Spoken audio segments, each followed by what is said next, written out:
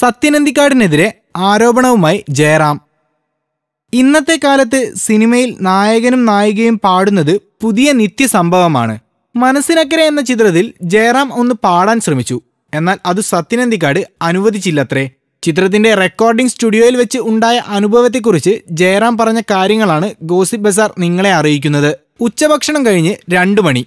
അടുത്ത പാട്ട് റെക്കോർഡ് ചെയ്യാനുള്ള ഒരുക്കങ്ങൾ നടന്നുകൊണ്ടിരിക്കെ. ഇളയരാജ സാർ വിളിച്ചു പറഞ്ഞു ചെണ്ടയ്ക്കൊരു കോലുണ്ടട എന്ന പാട്ട് നമുക്ക് പാടി നോക്കാം.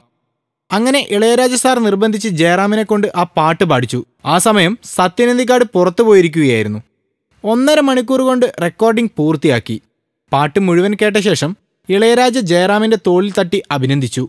ഇത്രയും നന്നായി പാടുമെന്ന് വിചാരിച്ചില്ല. ഒരു സ്ഥലത്ത് പോലും അപശ്രുതിയില്ല. തകർത്ത് പാടിയിട്ടുണ്ടെന്നൊക്കെ ഇളയരാജ സാർ അഭിനന്ദിച്ചുകൊണ്ട് പറഞ്ഞു. അതു കേട്ട സന്തോഷത്തിൽ ജയറാം ഇരിക്കുമ്പോഴാണ് സത്യനന്ദിക്കാടിന്റെ വരവ്. കാര്യങ്ങൾ എങ്ങനെയായി എന്ന സംവിധായകൻ തിരക്കി. ചെണ്ടപ്പാട്ട് ഞാനും ജയറാമും ചേർന്ന് പാടിയെന്ന് ഇളയരാജ പറഞ്ഞു. അതെങ്ങനെ ശരിയാകും? ജയചന്ദ്രനെ കൊണ്ട് പാടിക്കാൻ വെച്ചിരുന്ന പാട്ടല്ലേ അത് എന്ന് സത്യനന്ദിക്കാട് ചോദിച്ചു. പാട്ട് കേട്ടിട്ട് പറയൂ എന്നായി ഇളയരാജ.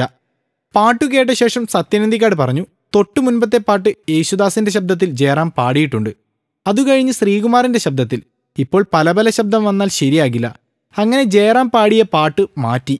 ഇളയരാജ സാർ പോലും നല്ലതെന്ന് പറഞ്ഞ് അംഗീകരിച്ച ഒരു ഗായകനെ ചവിട്ടിത്താഴ്ത്തി മുളയിലെ നുള്ളിക്കളഞ്ഞ ശ്രീ സത്യനന്ദിക്കാടനെ ഞാനെന്നും ഓർക്കാറുണ്ടെന്നും ജയറാം തമാശ രൂപേണെ ഒരു പരിപാടിക്കിടയിൽ പറഞ്ഞു. ഗോസിപ്പ് ബസാർ